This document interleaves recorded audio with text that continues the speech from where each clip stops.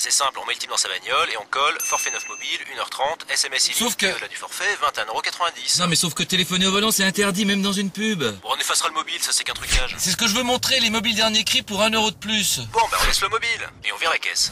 Et là-dessus, 9 mobiles, appelez le 3030. Bon, je vous rappelle. Hein.